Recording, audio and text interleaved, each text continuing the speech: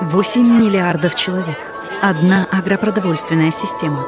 Конфликты, изменение климата, замедление и спада экономики, неравенство, растущие цены на продовольствие, отказывая многим в прогрессе, не давая всем нам двигаться вперед. То, что затрагивает одного, сказывается на многих.